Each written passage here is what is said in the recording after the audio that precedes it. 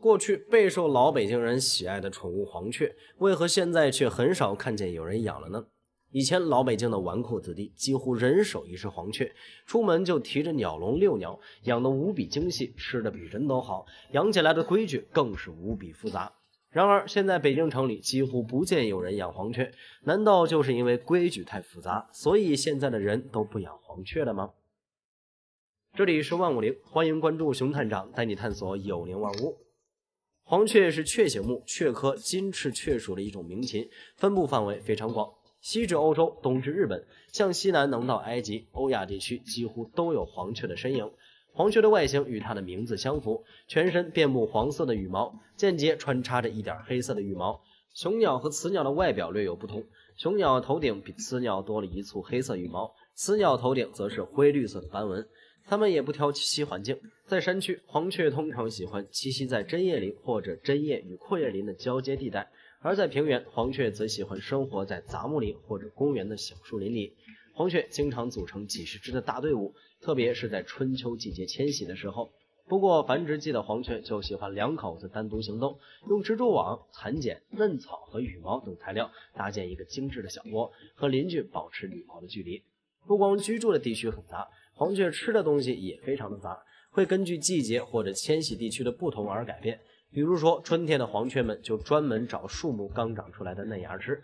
也会吃一些野生植物的种子，还有各类小昆虫。夏天昆虫开始大量出现，树木的叶子也变得又老又难啃，这时候黄雀就会专心抓昆虫。它们尤其喜欢吃蚜虫。到了秋天，昆虫数量减少，黄雀就改为吃种子果实，也会偷吃一些庄稼。黄雀的鸣声清脆悦耳，能模仿其他鸟类的叫声，甚至能学会简单的音调。在繁殖季节，雄性黄雀的歌声尤为动听，它们以此吸引雌性，并宣示领地。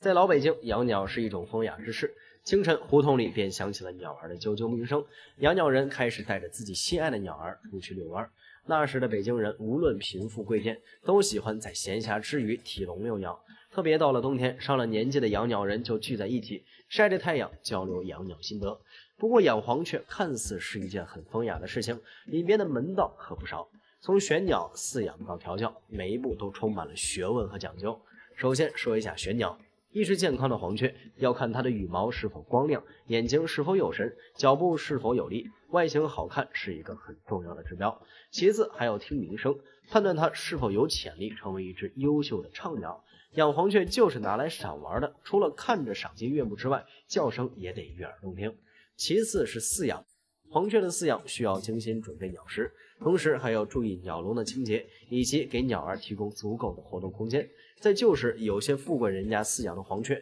每个月至少要支出十几两银子，比雇佣一个下人的价格高得多。就是因为要让黄雀吃好住好，这样既能显示出自己家财万贯，又能体现自己养鸟的技艺高超。再一个就是对于鸟的调教。想要让黄雀学会人们喜欢的鸣叫，就需要主人耐心调教。这包括定时给鸟儿播放鸣叫声，模仿鸟儿的叫声，以及给予适当奖励。平时主人带着黄雀出门去茶馆喝茶，还要注意不能给鸟脏口，就是不能让黄雀学会粗俗脏话的意思。一旦鸟儿脏口，那身价就一落千丈了。因此，带着鸟去茶馆喝茶还有很多讲究，不是什么随随便便的鸟都能进去。像百灵鸟要挂在茶馆的屋子里，画眉鸟要挂在廊上，黄雀则可以摆在茶馆的桌子上，其余的鸟根本就进不了茶馆。之所以有这些讲究，是因为鸟会互相学舌，虽然不是同一种鸟，但如果待在一起时间长了，就会互相学习对方的叫法，自己的叫声就跟着跑偏了。平时遛鸟也是有讲究的，不是单纯逛几圈，走多少步去什么地方，鸟的心里门清。如果走的步数少了，那一路上鸟不会叫，不叫就代表着鸟不高兴，不高兴你就得接着遛，因为鸟本身就是翱翔于天地之间的。现在把人家关在笼子里了，唯一出门看风景的机会还不让人家看个够，那鸟当然就不高兴了。所以遛鸟要遛足够长的时间，少则一小时，多则好几个小时，不遛到鸟尽兴，那你是不能回家的。过去有钱有钱的公子哥才会养黄雀，现在养鸟没有那么多规矩，怎么还没人养黄雀了呢？最根本的原因，那就是黄雀的地位和之前不一样了。以前黄雀是有钱老爷纨绔子弟的玩物，现在的黄雀早已被纳入了国家保护的范畴，不仅是我国的三有保护动物，还是北京市的二级保护鸟类。之所以要保护黄雀，当然就是因为它们数量减少，还被人类盯上了。随着城市化进程的加快，人类的居住环境发生了翻天覆地的变化。生存空间也快速扩张，森林与湿地面积减少，大量使用农药、化肥等化工用品，水源和空气被污染等等情况，都让黄雀像其他很多动物一样，生存空间被挤压侵占，种群数量自然下降了很多。虽然黄雀的繁殖率比较高，自然寿命有八到十年，每一窝都能生五到六枚卵，孵化期短，成熟较快，但仍然赶不上被人类影响的速度。更为严重的是，因为黄雀曾是很多养鸟人的心头好。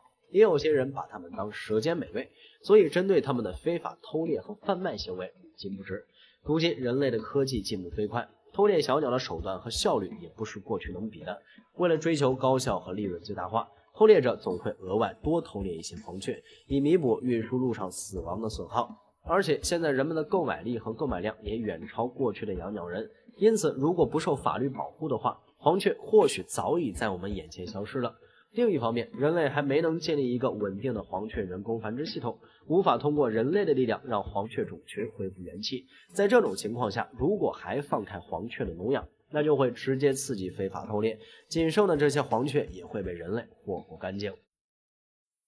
非常感谢您看完本期万物灵，欢迎点赞、评论、加关注，您的关注是熊探长探秘的最大动力。